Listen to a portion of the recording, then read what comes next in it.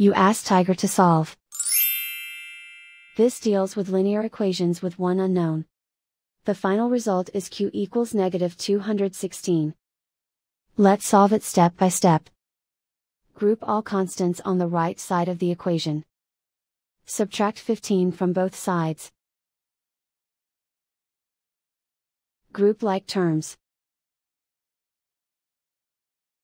Simplify the arithmetic.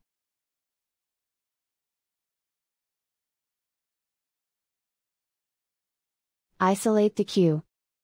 Multiply both sides by 6. Group like terms. Multiply the coefficients. Simplify the fraction. Simplify the arithmetic. And so the final result is q equals negative 216.